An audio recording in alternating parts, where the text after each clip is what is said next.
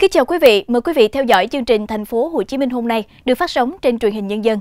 Thưa quý vị, để nuôi dưỡng ý tưởng khởi nghiệp sáng tạo từ sinh viên, các trường đại học tại Thành phố Hồ Chí Minh đã thành lập vườn ươm đổi mới sáng tạo, câu lạc bộ khởi nghiệp. Tại đây, các sinh viên không chỉ được hỗ trợ về môi trường làm việc mà còn được hỗ trợ về kỹ năng thực hiện và phát triển dự án, từ ý tưởng sơ khai ban đầu đến khi dự án đi vào hoạt động và có lợi nhuận việc ươm mầm và nuôi dưỡng những ý tưởng từ sinh viên là một trong những hoạt động thiết thực góp phần thúc đẩy tinh thần khởi nghiệp ở Việt Nam. Vậy cụ thể hơn là các vườn ươm đã hỗ trợ như thế nào để ươm mầm và phát triển ý tưởng của các sinh viên thành các dự án khởi nghiệp ngay tại các trường đại học? Đây là nội dung chính mà chúng tôi sẽ đề cập trong chương trình ngày hôm nay. Trước tiên, xin mời quý vị cùng theo dõi phần điểm lại những nội dung tin tức đáng chú ý trong tuần qua.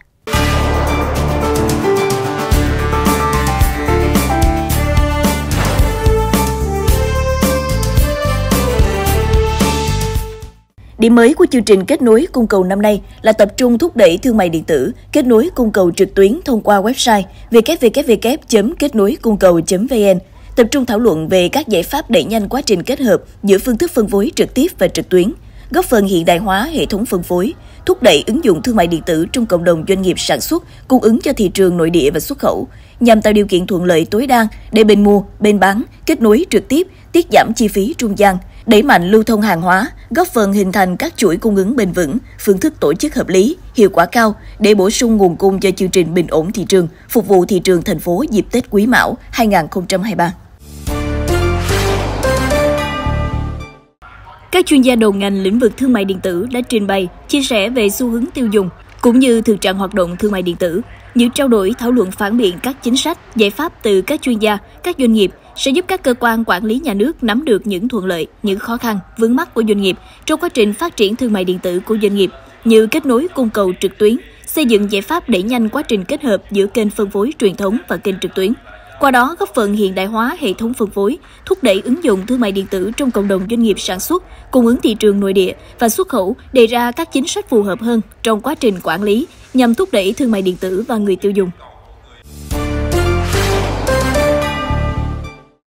Sở Y tế thành phố Hồ Chí Minh vừa phân bổ kinh phí từ ngân sách thành phố hỗ trợ 17 bệnh viện đang gặp khó khăn trong chi trả thu nhập tăng thêm cho nhân viên y tế. Động thái này thực hiện theo nghị quyết 03 do Hội đồng nhân dân thành phố Hồ Chí Minh ban hành năm 2018. Nghị quyết quy định về chi thu nhập tăng thêm cho cán bộ, công chức, viên chức thuộc khu vực quản lý nhà nước, tổ chức chính trị, chính trị xã hội và đơn vị sự nghiệp công lập được thành phố quản lý. Trước đó, Sở Y tế đề xuất thành phố cấp kinh phí cho các đơn vị theo nghị quyết 03 khi có hệ số thu nhập tăng thêm của năm dưới 1,2 với điều kiện bình quân hệ số thu nhập tăng thêm của 3 năm trước liền kề dưới 1,8.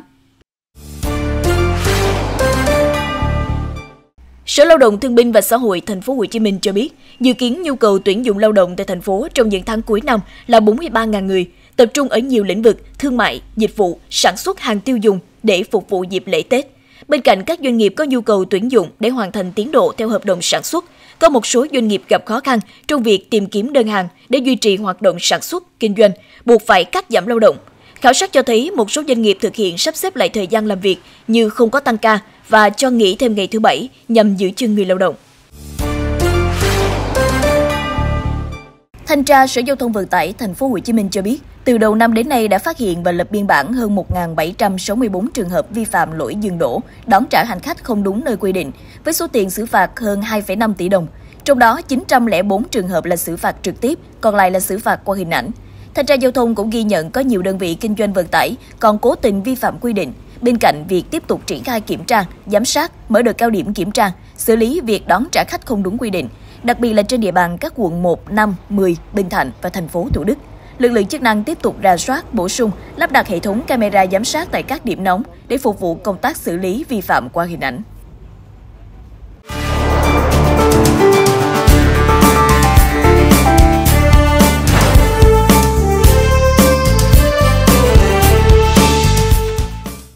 Thưa quý vị, bắt đầu từ những năm 2007-2013, thành phố Hồ Chí Minh đã triển khai chương trình thử nghiệm vườn ươm khởi nghiệp tại các trường đại học. Chương trình hỗ trợ này đã tạo nên một sức sống mới trong hoạt động ươm tạo của thành phố. Những vườn ươm tại các trường đại học đã trở thành môi trường tạo dựng cho các start-up hiện thực hóa ý tưởng kinh doanh, vừa nhanh vừa tốn ít chi phí. Thực tế, trong thời gian gần đây, có rất nhiều dự án khởi nghiệp xuất phát từ vườn ươm tạo của các trường đại học cho thấy đây là nhân tố quan trọng góp phần tạo nên sự bền vững cho hệ sinh thái khởi nghiệp của thành phố trong tương lai. Được thành lập từ năm 2019, hàng năm Vườn ươm khởi nghiệp đổi mới sáng tạo của Trường Đại học Kinh tế Thành phố Hồ Chí Minh đã ươm tạo cho khoảng 15 đến 20 dự án ý tưởng khởi nghiệp. Đây đều là dự án ý tưởng của các sinh viên, cựu sinh viên của trường và một số start-up từ bên ngoài. Đây cũng là chương trình phi lợi nhuận mà Trường Đại học Kinh tế Thành phố Hồ Chí Minh thực hiện vì trách nhiệm xã hội với cộng đồng. Thì chúng tôi còn hướng tới cái điều lớn lao hơn nữa, đó là muốn gắn kết muốn phát triển tài năng của tất cả các sinh viên của chúng tôi và của các trường đại học trên địa bàn và ở các tỉnh có nhu cầu khởi nghiệp có nhu cầu phát triển ý tưởng những cái sáng tạo những cái ý tưởng của mình xuất phát từ trường đại học để trở thành để có thể thực hiện uh, thành những doanh nghiệp thành đạt trong tương lai và điều đặc biệt là chúng tôi muốn tạo một cái môi trường cho sinh viên chúng tôi là luôn luôn học và phải phát huy tinh thần sáng tạo, tinh thần à, dám nghĩ, dám làm và gắn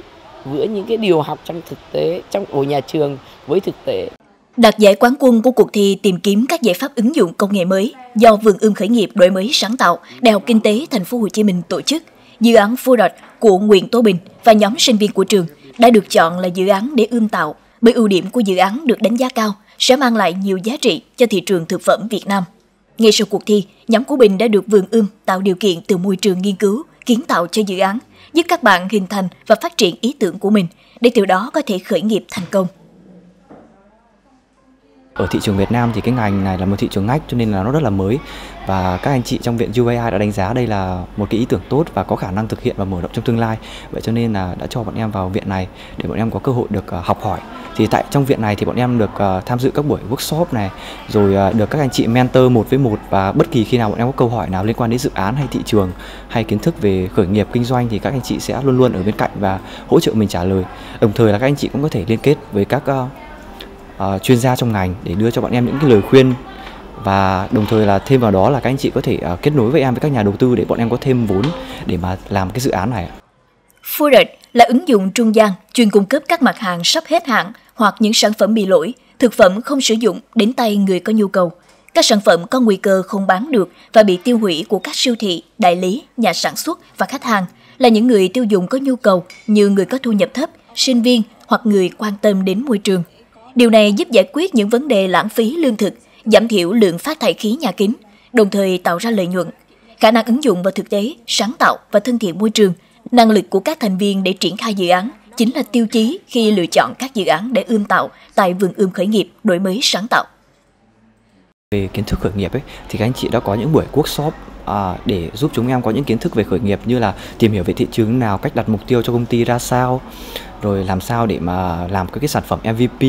khi mà em tham dự vào startup trong viện UAI trước mắt trong vòng 6 tháng là bọn em sẽ cố gắng là xây dựng cái mô hình kinh doanh phù hợp nhất tại thị trường Việt Nam phù hợp giữa nguồn cung và nguồn cầu à, để mà tất cả mọi các bên đều có cái lợi ích khi mà tham gia vào của dự án của bọn em. Và tiếp theo là bọn em sẽ cố gắng xây dựng một cái nền tảng gọi là web hoặc là app để uh, cái dịch vụ được cung ứng nó một cách uh, nó mượt mà và trơn tru hơn. Tương tự như nhóm của Bình, dự án Afti xây dựng chuỗi cung ứng nông sản sạch của nhóm anh Phạm Việt cũng may mắn là một trong những dự án được tuyển chọn ươm tạo tại vườn ươm khởi nghiệp đổi mới sáng tạo UAI. Ngay khi được tuyển chọn, anh Phạm Việt đã được vườn ươm hỗ trợ từ tư vấn pháp lý đến các giải pháp bền vững để thực hiện dự án khởi nghiệp của mình. Đến nay, dự án đã đi vào hoạt động và mang lại giá trị lợi nhuận cho doanh nghiệp. Tụi em làm ở đây chắc cũng phải là được gần 2 năm, thì hỗ trợ của viện rất là nhiều. Thì nó thường xuyên tổ chức những cái uh, chat để kết nối những cái hoạt động lại với nhau những cung cấp những cái service ờ, về ờ, tư vấn về pháp lý rồi cung cấp những cái buổi kết nối với nhà đầu tư thì nó sẽ giúp cho những dự án cọ sát thị trường nó sẽ tốt hơn. Vườn ươm khởi nghiệp đổi mới sáng tạo UII hình thành hệ sinh thái khởi nghiệp ngay tại trường đại học và kết nối các chuyên gia để hỗ trợ cho các dự án khởi nghiệp mang yếu tố đổi mới sáng tạo, qua đó hình thành bệ phóng bền vững cho các công ty thành công trong tương lai hoạt động ươm tạo dự án được diễn ra xuyên suốt hàng năm với hai đợt tuyển chọn và các chương trình mở rộng cho cộng đồng khởi nghiệp tại thành phố Hồ Chí Minh, đặc biệt là sinh viên, thành viên câu lạc bộ khởi nghiệp tại các trường đại học. Chương trình được lan tỏa bởi chính các dự án ươm tạo. Các thành viên đã từng tham gia hoạt động tại vườn ươm, khơi dậy tinh thần khởi nghiệp và đổi mới sáng tạo của chính các bạn sinh viên. Chúng tôi có một cái có một chiến lược rõ ràng. À, từ các thầy cô giảng dạy ở trên lớp cũng phải định hướng cho sinh viên là học phải đi được nhiều hơn nữa và làm được nhiều hơn nữa. Bên cạnh đó cái niềm hạnh phúc của chúng tôi là chúng tôi có một cụ hệ thống alumni. Các sinh viên thành đạt của chúng tôi qua nhiều thế hệ 46 năm cũng là những người đồng hành cùng các em làm những mentor cho các em có thể có những cái nhìn và có những cái đường hướng để cùng đi. Và qua đó nhìn thấy họ đã vấp phải những điều gì trong tương lai những điều khó gì gặp trong tương lai và các em sẽ phải vượt qua những đỉnh cao như thế nào để các em thành công bên cạnh đó chúng tôi có một đội ngũ các à, phải nói là những cái team rất chuyên nghiệp trong viện để có thể thực hiện từng bước từng bước nâng đỡ các em trong quá trình mà các em có ý tưởng đến khi các em có thể thực hiện được ước mơ của mình. Sau khi tham gia vào chương trình ươm tạo, Vườn Ươm sẽ trao quyền và tạo động lực phát triển cho thế hệ doanh nhân trẻ bằng cách kết nối họ với một mạng lưới các cố vấn và chuyên gia, đào tạo one on one, hỗ trợ toàn diện về dịch vụ ươm tạo khởi nghiệp. Các dự án, ý tưởng sau khi vượt qua vòng tuyển chọn sẽ tham gia vào chương trình ươm tạo kéo dài 12 tháng tại vườn ươm và trải qua 5 giai đoạn. Mỗi giai đoạn các sinh viên đều được cung cấp những kiến thức, kỹ năng kết hợp thực hành để áp dụng và xây dựng cho startup. Trong mỗi giai đoạn phát triển của dự án, chương trình ươm tạo sẽ theo dõi tiến độ thực hiện để kịp thời tháo gỡ khó khăn. Kết thúc quá trình ươm tạo ở vườn ươm đổi mới sáng tạo, các dự án sẽ bắt đầu thực hiện gọi vốn từ các nhà đầu tư và tiến vào thị trường. Tùy từng dự án và đặc thù của từng dự án và chúng tôi sẽ tìm từng à, những các anh chị mentor rồi làm sao để phù hợp với cái lĩnh vực các bạn đang có ý tưởng nung nấu và muốn khởi nghiệp đó và chúng tôi sẽ phân nhóm ra để thực hiện và thực sự chúng tôi luôn luôn muốn rằng là chúng tôi vẫn cứ cùng nhau và đoàn kết để làm sao làm được nhiều nhất cho cái vườn ươm của phát triển và ngày càng phát triển và thực sự mong ước nữa là càng nhiều nhóm startup thành công thì đó là niềm hạnh phúc của chúng tôi. Không chỉ hỗ trợ các môi trường làm việc, các giải pháp phát triển, kết nối dự án, Vườn ươm còn là nơi để các sinh viên, cựu sinh viên, cộng đồng khởi nghiệp có những buổi trao đổi, chia sẻ kinh nghiệm để cùng nhau bước tới thành công. Tuy là công việc nó đặc thù khác nhau, nhưng mà những cái dự án nó cùng cái nhịp điệu cùng cái cái cái ờ, giai đoạn phát triển đó, thì nó lại cùng có cái cái suy nghĩ chung có những khó khăn chung thì có thể là chia sẻ nhau rất là nhiều thì ờ, ngoài ra thì viện cứ mỗi quý hoặc là mỗi ờ, mỗi giai đoạn nào đó thì tổ chức kết nối những cái dự án mới với mới cũ lại với nhau để có thể là chia sẻ những cái dự án thông tin từ dự án mới sang dự án cũ và hỗ trợ từ dự án cũ qua những dự án mới. Thì nó là một cái rất là hay.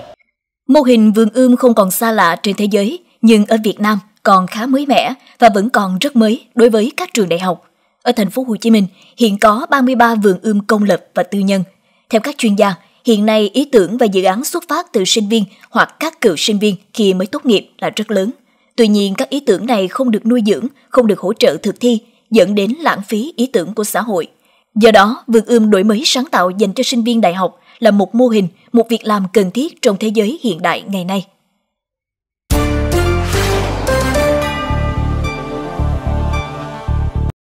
Là sinh viên năm cuối của trường Đại học Sư phạm Kỹ thuật Thành phố Hồ Chí Minh, em Trương Trọng Thân cùng nhóm cộng sự của mình đã được tiếp cận với máy móc, thiết bị từ khi còn là sinh viên năm 2. Cũng từ hỗ trợ này, giúp các em có thêm nhiều kỹ năng, kiến thức thực tế để phát triển dự án của mình. Khu công nghệ phần mềm Đại học Quốc gia Thành phố Hồ Chí Minh đã tạo điều kiện cho trọng nhân và nhóm của mình được nghiên cứu, ứng dụng và thực hành tại phòng kỹ thuật với đầy đủ máy móc, thiết bị. Ngoài ra, các bạn còn nhận được sự tư vấn của những anh chị khởi nghiệp đi trước, dẫn dắt và hỗ trợ giúp các bạn tiếp cận với ước mơ khởi nghiệp của mình. Nơi đây được xem là cái nôi cho những sinh viên yêu thích và có đam mê khởi nghiệp tiếp cận và làm quen. Bình thường khi mà mỗi lần em tìm một có một cái ý tưởng gì đó thì để chế tạo ra nó thì gặp rất là nhiều khó khăn. Thứ nhất là về kiến thức về máy móc thì mình không có đầy đủ. Thứ hai là về nguồn kinh phí thì lúc mình thời đó thì cũng là sinh viên thì cũng nghiên cứu cũng gặp rất là nhiều khó khăn. Được may mắn hơn rất nhiều bạn khác là được có uh, khu công nghệ phần mềm hỗ trợ thì uh, trong một thời gian khoảng 2 năm gắn bó ở đây thì em cảm thấy là bản thân mình phát triển được rất nhiều thứ từ uh, uh, kiến thức chuyên môn cũng như các uh, kiến thức về kỹ thuật và cũng như kinh doanh thì được hỗ trợ rất nhiều thì uh, trong công việc thì em ứng dụng được nó như hiện tại thì em đang sử dụng những cái kiến thức đó cho việc uh, làm việc thực tế hiện tại thì, uh, rồi phát triển bản thân mình nhiều hơn. Ươm mầm và nuôi dưỡng những ý tưởng từ sinh viên là một hoạt động thiết thực và thúc đẩy tinh thần khởi nghiệp ở Việt Nam. Thực tế cho thấy, với hàng nghìn mô hình khởi nghiệp ứng dụng khoa học công nghệ đang phát triển hiện nay cho thấy sự hưởng ứng, khao khát vươn lên của nhiều bạn trẻ. Thế nhưng để thành công, nhất thiết họ cần một bệ đỡ từ chính môi trường học của chính mình cùng chương trình hỗ trợ khởi nghiệp cụ thể. Đối với cái sự hỗ trợ của từ chính quyền của thành phố cũng như thành phố Thủ Đức cũng như các sở ban ngành thì à, mình sẽ thấy được là cái sự gia tăng cái chất lượng của các cái nhóm dự án cũng như là cái sự gia tăng cái um, à, chất lượng của các cái bạn à, gọi là mình nói là các nhà sáng lập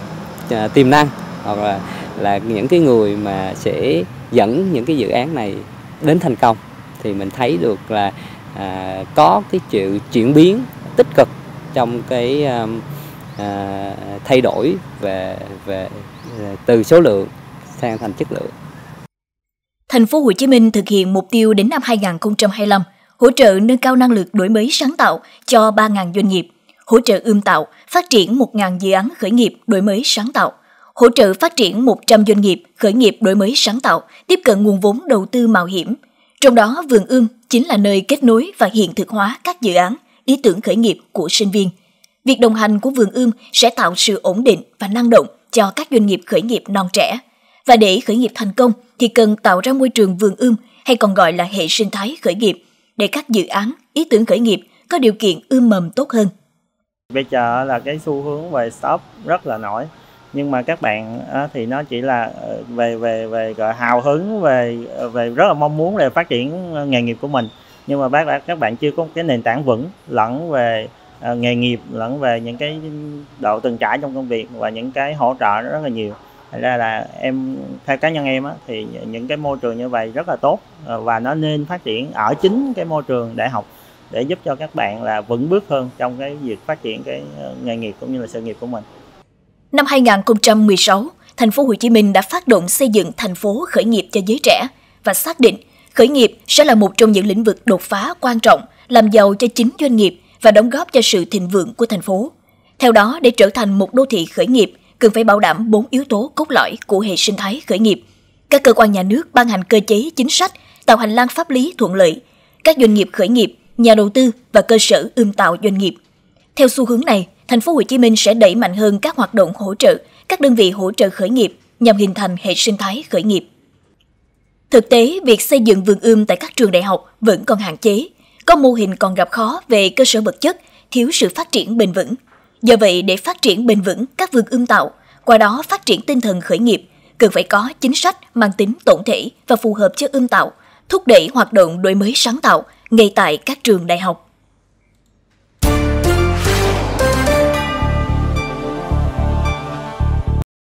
Quý vị thân mến, nội dung vừa rồi đã khép lại chương trình Thành phố Hồ Chí Minh hôm nay kỳ này của chúng tôi. Cảm ơn quý vị đã dành thời gian theo dõi. Quý vị có thể xem lại nội dung này trên website nhân dân tv.vn. Mọi thông tin liên lạc mong quý vị gửi về địa chỉ email tbhcmhômnay.tv a gmail.com. Xin kính chào tạm biệt và hẹn gặp lại trong các lần phát sóng tiếp theo.